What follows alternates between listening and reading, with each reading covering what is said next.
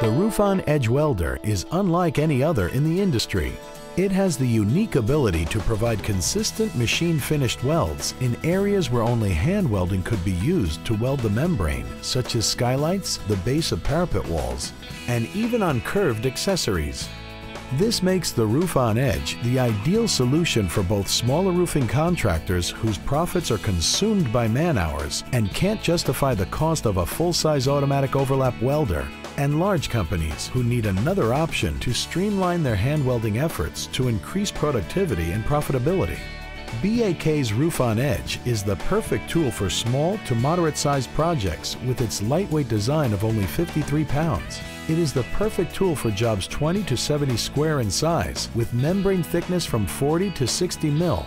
The heat source on the RoofOn Edge is the same as BAK's full-sized LarOn welder, allowing it to operate at speeds of 5 to 7 feet per minute, making it the fastest small welder with the largest heat source on the market today. The RoofOn Edge requires a 240 volt power supply to operate. A voltmeter can be used to ensure the outlet is delivering proper voltage. If using a generator, the minimum size required is 10,000 watts. It is also required that only GFCI protected 10 gauge 3 wire line cord no longer than 100 feet be used. The RoofOn Edge must have a plug wired to the power cable when first set up. It is extremely important to properly wire the plug to ensure full power operation and proper temperatures. When wiring the plug, make sure the yellow wire with the green stripe is properly attached to the ground terminal on the plug. This one is indicated by the green screw. Next, make sure the brown and blue wires are connected directly across from each other. This is especially important for four-prong plugs as the RoofOn Edge may not get full power if it is wired improperly. While working on the roof, items such as hard hats, gloves, safety glasses, and closed-toed shoes are often required. Check all local safety regulations to ensure proper attire is worn on the roof. The controls for the RoofOn Edge are located conveniently to the rear of the machine. To turn on the machine, toggle the green power switch to the on position to allow cool air to start circulating through the heat gun. The black airflow knob to the left of the power switch should be set to full power for TPO and PVC. The temperature is set by dialing the red knob on the back of the heat gun to the desired temperature, similar to the handheld unit.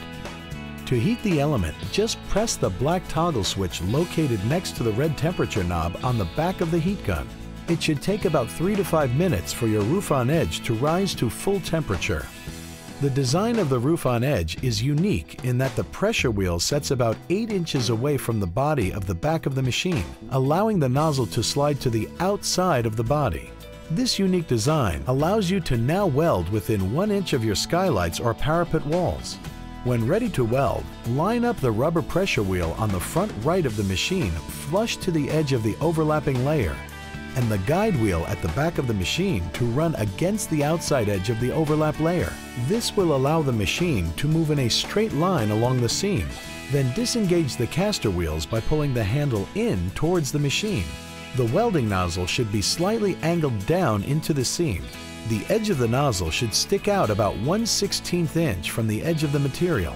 The distance of the nozzle from the pressure wheel should measure about 1 and 1 quarter to 1 and 5 8 inches from the center of the pressure wheel.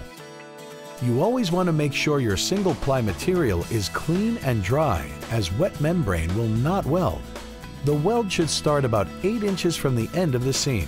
To start the welding process, just slide the nozzle into the seam. Once fully inserted, the machine will automatically start welding.